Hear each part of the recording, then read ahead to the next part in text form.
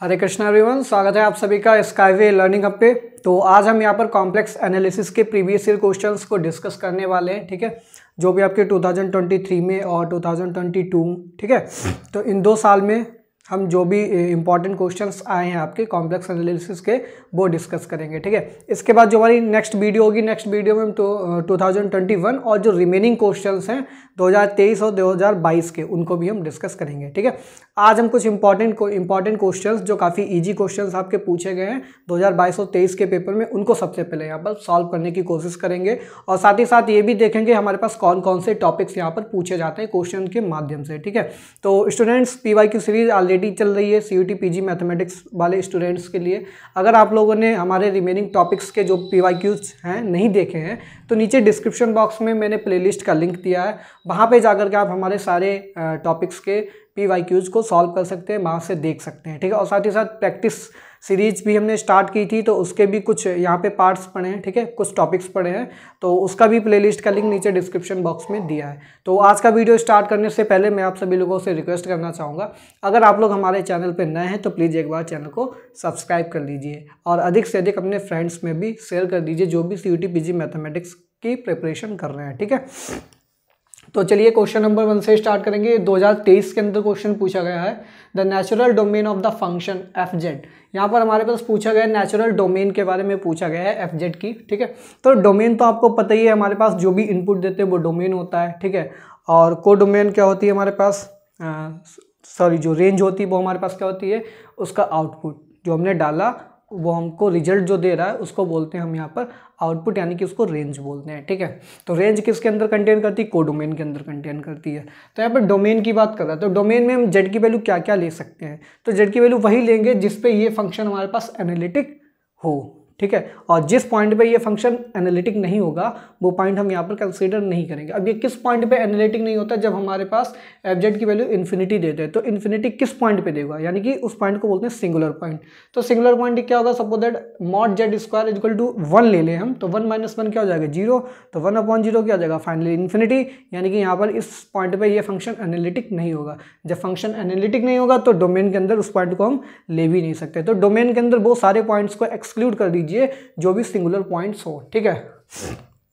तो singular points के लिए हम क्या करेंगे? सपोज़ दैट यहाँ पे mod z is equal to one यही हमारे पास सिंगुलर पॉइंट देगा। Mod z square is equal to one अच्छा मॉड जेड की वैल्यू आपको पता है under root x square plus y square होती है। Under root x square plus y square is equal to one ठीक है? अब दोनों तरफ़ अगर whole of square sorry mod z है मॉड जेड का स्क्वायर लगा है, यानी कि अंडर रूट से और स्क्वायर ये दोनों क्या हो जाएँगे? कैंसिल स्क्वायर रूट और ये स्क्वायर ऊपर लगा, दोनों कैंसिल हो जाएँगे। सिंपली क्या बचेगा हमारे पास? X square plus y square क्या बचेगा?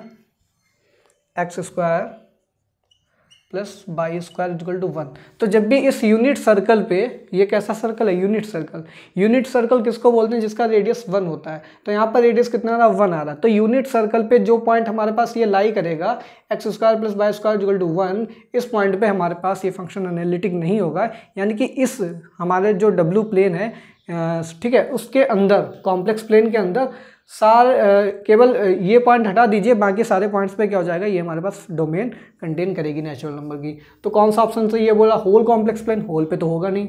बी ऑप्शन क्या बोला whole complex plane excluding the point ये पॉइंट हटा करके, ठीक है? तो बिल्कुल सही ऑप्शन है, जो पॉइंट हमारे पास इस सर्कल पर लाई कर रहा है, वो पॉइंट हटा दीजिए, बाकी सारे पॉइंट्स पर क्या हो जाएगा एनालिटिक हो जाएगा, और यही हमारे पास डोमेन हो जाएगी, ठीक है? तो क्वेश्चन नंबर टू पे चलते हैं। ये भी 2023 के अंदर आया है। Let f z is equal to u plus i v be an analytic function ये बोल रहा है, एक हमारे पास f z is equal to u plus i v analytic function दे रखा है, जहाँ पर यू की वैल्यू दी है तो वी की वैल्यू पूछ रहा है, ठीक है? वैसे वी की वैल्यू कैसे निकालते हैं? वी हमारे पास क्या होता है कॉम्प्लेक्स कंजुगेट होता है यू का। तो आपने कॉम्प्लेक्स एनालिसिस में पढ़ा ही होगा, अगर यू दिया वी कैसे निकालेंगे? वी दिया है तो यू कैसे निकालेंगे? बाय जब इसका शॉर्ट ट्रिक मेथड मैं बता रहा हूँ। ठीक है?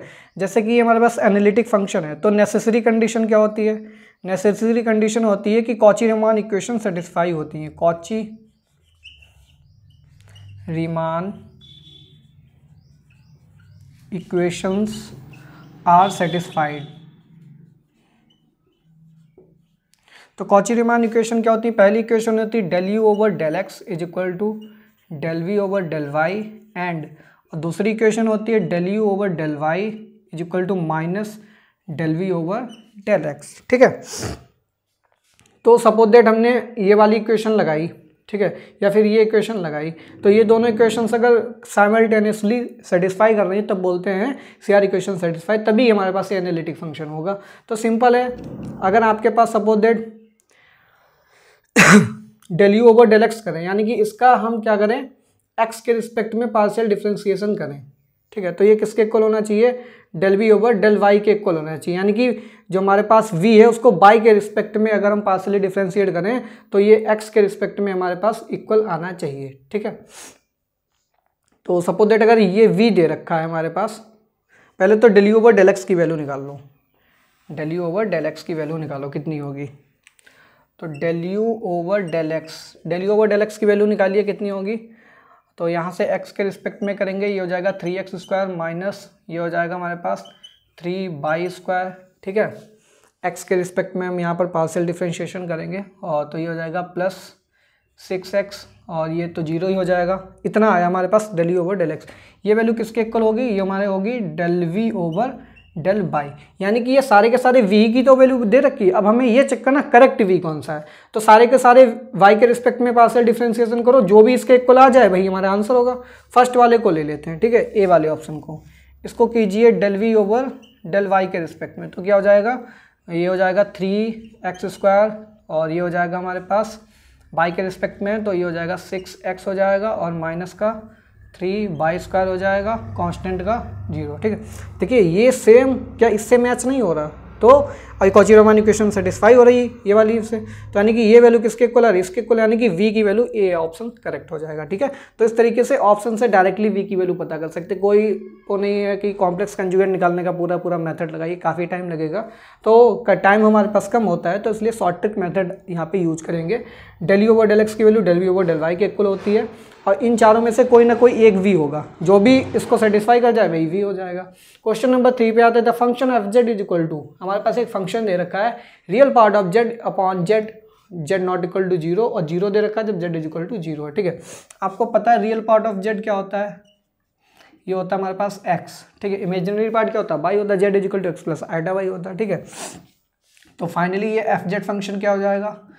ये हो जाएगा एक्स अपॉन जेड की वैल्यू रख दो एक्स प्लस आयोटा वाई ठीक है? जब हमारे पास z not equal to zero है, और ज़ीरो कब होगा? जब हमारे पास z is equal to zero ठीक है?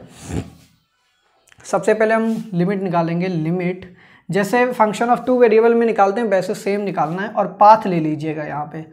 पाथ ले लेना path y equal to m x ठीक है? अगर ये y is equal to m x पे एम के इंडिपेंडेंट हमारे पास लिमिट आती है, तब उस केस में हम बोलेंगे ये हमारे पास कंटिन्यूस फ़ंक्शन है। लेकिन अगर ये एम पे डिपेंड कर रही तो हर पाथ पे अलग अलग वैल्यू आएगी हमारे पास लिमिट की। तो अलग अलग वैल्यू जाएँगे, इसका मतलब क्या है? ये फ़ंक्शन कंटिन्यूस नहीं होगा। तो हमको चेक करना है, ये डिपेंडेंट ऑफ़ एम है या फिर इंडिपेंडेंट ऑफ़ एम है? तो जेड टेन टू ज़ीरो हो जाएगा, ठीक है? Limit Z ten ten to zero हो जाएगा हमारे पास। और x upon x plus iota y हो जाएगा। Is equal to limit z की वैल्यू क्या ली हमने? z is equal to m x तो ये हो जाएगा m x tends to zero और ये हो जाएगा x upon x plus iota m x ठीक है? M x tends to zero इसका मतलब x टेन टू ज़ीरो हो जाएगा। तो limit x tends to zero हो जाएगा। ये हो जाएगा x अपॉन ठीक है? यहाँ से x को कॉमन ले लो तो one plus iota m. X से एक्स कैंसिल हो जाएगा सिंपली बचेगा one upon one plus iota m. देखिए, ये एम पे डिपेंड कर रहा है। अब जब भी एम पे डिपेंड कर रहा है तो यहाँ पे लिखेंगे path is dependent of m dependent of m that is हमारे पास क्या हो जाएगा? हमारे पास limit does not exist limit does not exist जब लिमिट ही एग्जिस्ट नहीं करेगी तो सिंपल है, क्या हो जाएगा? कंटिन्यूस नहीं होगा फ़ंक्शन तो डी वाला ऑप्शन सही है। ए बोल रहा है एग्जिस्ट कर रही है, गलत। बी बोल रहा है कंटिन्यूस है, गलत। डिफ्रेंसीबल भी नहीं होगा, ठीक है? तो इस तरीके से इसको पाथ लेकर के सॉल्व किया जाता है। The function f z is equal to z minus sine z है अपॉन जेड स्क्वायर हैज़ अब ये बोल रहा है सिंगुलरिटी यहाँ पे। बताइए कौन कौन सी सिंगुलरिटी हो सकती है यहाँ पे, ठीक है? तो पहले तो सिंगुलर पॉइंट्स देखिए क्या क्या होंगे हमारे पास। इसके सिंगुलर पॉइंट क्या होंगे? सिंगुलर पॉइंट्स सिंगुलर पॉइंट्स क्या होता है? डिनोमिनेटर में z square is equal to zero को zero equal to zero put कर लो तो यहाँ से z is equal to zero का मन ज़ीरो यानी कि ज़ीरो ज़ीरो दो सिंगुलर पॉइंट्स हमारे पास आएँगे, ठीक है? अब ये चेक करना है, ये जो सिंगुलैरिटी आ रही है, किस टाइप की? रिमेबेबल है या सिंपल पोल है या आइसोलेटेड है नॉन आइसोलेटेड है या इसेंशियल है, ठीक है? तो ये हमको पता करना है। इसके लिए एक लॉरेंट्स थ्योरम होती है। देखिए लॉरेंट थ्योरम। लॉरेंट थ्योरम क्या बोलती है? हमारे पास एक फ़ंक्शन है कॉम्प्लेक्स फ़ंक्शन एफ़ जेड उसको हम इस फॉर्म में ब्रेक करके लिख सकते हैं। N is equal to zero से इन्फिनिटी तक जाएगा, ठीक है? ये हो जाएगा a n z minus a की पावर एन ठीक है? A n z minus a की power n plus n is equal to one से लेकर के इन्फिनिटी ये हो जाएगा बी एन और जेड माइनस ए की पावर माइनस का एन ठीक? तो जेड माइनस ए की पावर माइनस का एन का मतलब सिंपल है, ये नीचे चला जाएगा, ये पूरा का पूरा फैक्टर और जब भी डिनोमिनेटर में फैक्टर जाता है तो वहीं से हमारे पास सिंगुलर पॉइंट निकल के आते हैं। अगर सिंपली न्यूमरेटर न्यूमरेटर चल रहा है, तब तो सिंगुलर पॉइंट की कोई बात ही नहीं होती। हमारे हमारे पास एल्जेब्रिक फ़ंक्शन बनेगा। उस केस में सिंगुलर पॉइंट तो आएँगे नहीं। लेकिन जब भी ये डिनोमिनेटर में जाता वहाँ से सिंगुलर पॉइंट निकल के आते हैं। तो इस पार्ट को बोलते हैं प्रिंसिपल पार्ट क्या बोलते हैं इसको? Principal part. और ये वाला जो पार्ट होता है, इस पार्ट को बोलते हैं हम नॉर्मल पार्ट। ठीक? अब सिंगुलरिटी आपके पास दो टाइप की होती हैं। एक होता है आइसोलेटेड एक हो दूसरी होती नॉन आइसोलेटेड अब जो आइसोलेटेड सिंगुलरिटी होती है उसके अंदर तीन कैटेगरी होती है। फ़र्स्ट कैटेगरी होती है हमारे पास रिमूवेबल सिंगुलरिटी, दूसरी होती इसेंशियल और तीसरी होती है हमारे पास पोल ठीक है? अब ये रिमूवेबल सिंगुलरिटी कब आती है? रिमूवेबल सिंगुलरिटी जब आएगी, जब हमारे पास प्रिंसिपल पार्ट ज़ीरो हो जाए। प्रिंसिपल पार्ट क्या हो जाए? If principal part is zero तब इस केस में हमारे पास आएगी रिमूवेबल सिंगुलरिटी ठीक है? तब उस केस में कैसी आएगी? रिमूवेबल सिंगुलरिटी अब जब हमारे पास suppose that principal part zero नहीं आ रहा। प्रिंसिपल पार्ट में हमारे पास कुछ ना कुछ आ रहा है, ठीक है? यानी कि प्रिंसिपल पार्ट में अगर फाइनाइट नंबर ऑफ़ टर्म्स आ रही हैं या फिर इन्फिनाइट नंबर ऑफ़ टर्म्स आ रही हैं, दो ही कंडीशन हो सकती है। अगर इन्फिनाइट नंबर ऑफ़ टर्म्स आ रही हैं, ठीक है? तो इन्फिनाइट नंबर ऑफ़ टर्म्स के केस में हमारे पास सिंगुलरिटी हो जाती है इसेंशियल सिंगुलरिटी कैसी हो जाती है? अगर इन्फानाइट टर्म्स आ रहे इनफाइनाइट इनफाइनाइट टर्म्स हैं तो हमारे पास इसेंशियल सिंगुलरिटी अगर फाइनाइट टर्म्स हैं, ठीक है, तब हमारे पास पोल एग्जिस्ट करता है, ठीक है? तब हमारे पास पोल एग्जिस्ट करता है, ठीक है? तो ये तीन कंडीशंस होती हैं रिमूवेबल इसेंशियल पोल अब हमको ये चेक करना है, इस केस में हमारे पास प्रिंसिपल पार्ट है या फिर नहीं है? अगर है, तब तो चेक करेंगे कौन सा है फाइनाइट टर्म है या इन्फाइनाइट टर्म है अगर नहीं है, तब तो सिंपल रिमूवेबल सिंगुलरिटी हो जाएगी, ठीक है? तो मैं इधर वाला पार्ट इरेज कर रहा हूँ। यहीं पे आपको सॉल्व करके बताऊँगा।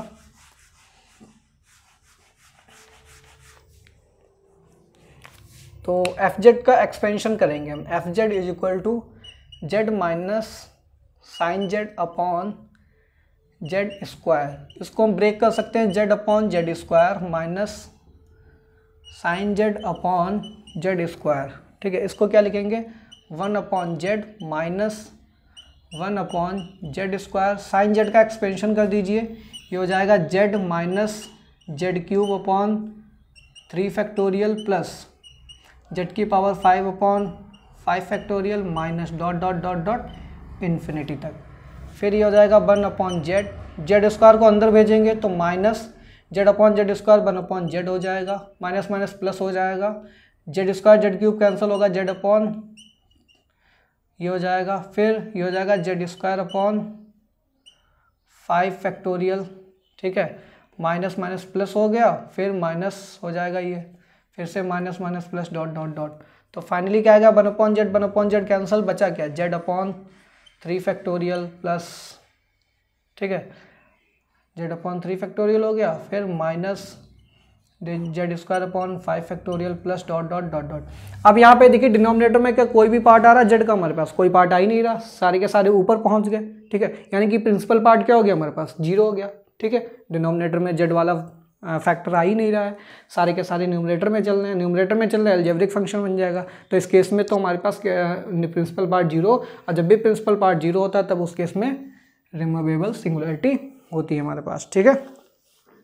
तो ये बहुत इंपॉर्टेंट है सिंगुलरिटी पे क्वेश्चन आपका आ जाता है। तो जल्दी से ये सारे के सारे क्वेश्चन आप लोग नोट डाउन कीजिए। स्क्रीनशॉट भी ले सकते हैं, ठीक है?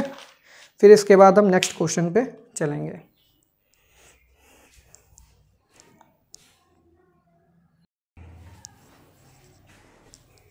देखिए, ये क्वेश्चन जो क्वेश्चन नंबर फोर था। ये क्वेश्चन नंबर फोर आपका आया है 2022 के पेपर में।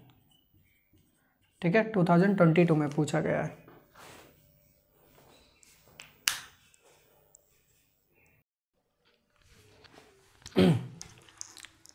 तो देखिए क्वेश्चन नंबर फाइव यहाँ पर पूछा गया है the radius of convergence of power series अब देखिए पावर सीरीज़ जो सेकेंड सीरीज़ में मैंने क्वेश्चन कराते हैं मैंने बोला था पावर सीरीज़ के क्वेश्चन आते हैं आपके ठीक है?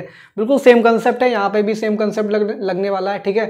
तो यहाँ पे जो टेस्ट लगाएँगे देखिए पावर इसकी स्क्वायर चल रही यही पावर अगर एन होती तब हम कौन सा लगाते? कॉची एन रूट टेस्ट लगाते। बट यहाँ पर पावर एन है ही नहीं तो सिंपल है हमारे पास कौन सा लगाएँगे? देखिए ये हो जाएगा वन अपॉन आर ठीक है? वन अपॉन आर हो जाएगा limit n tends to infinity और ये होता है modulus of a n plus one upon a n ये रेशियो टेस्ट हम यहाँ पे लगाते हैं, ठीक है?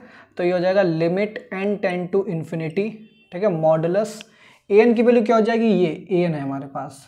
ये क्या हमारे पास? A n a n z n होता ना, ठीक है? तो एन प्लस वन करेंगे तो n plus one upon n plus two का होल ऑफ़ स्क्वायर हो जाएगा। और डिनोमिनेटर में क्या हो जाएगा? N upon n plus one का होल ऑफ़ स्क्वायर ठीक? यहाँ से एन को कॉमन लीजिए। Limit n tends to infinity modulus ये हो जाएगा n square n square n square common हो जाएगा तो ये बचेगा one plus one upon n upon one plus two upon n का होल ऑफ़ स्क्वायर और डिनोमिनेटर में क्या बचेगा? यहाँ से भी n square n square common तो क्या बचा यहाँ पे? वन